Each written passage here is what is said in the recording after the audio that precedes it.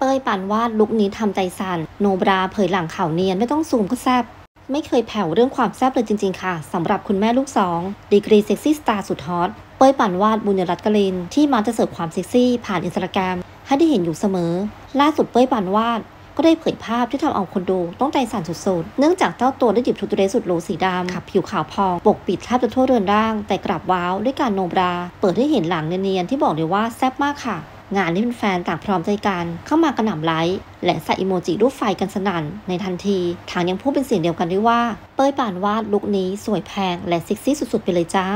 ขอบคุณภาพเป้ยปานวาดภาพแหล่งข้อมูลข่าว สนุกหรือคอมค่ะ ฝากกดไลค์กดแชร์กด Subscribe กดกระดิ่งกันด้วยนะคะ